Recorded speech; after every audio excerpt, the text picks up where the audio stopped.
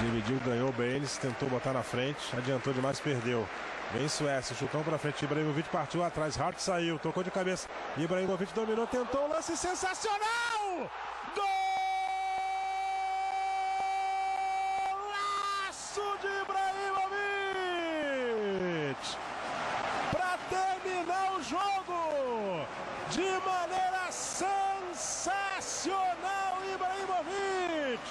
Quatro Ibrahimovic, 46 minutos de jogo no segundo tempo, um lance inesquecível para marcar a inauguração do Fênix Arena.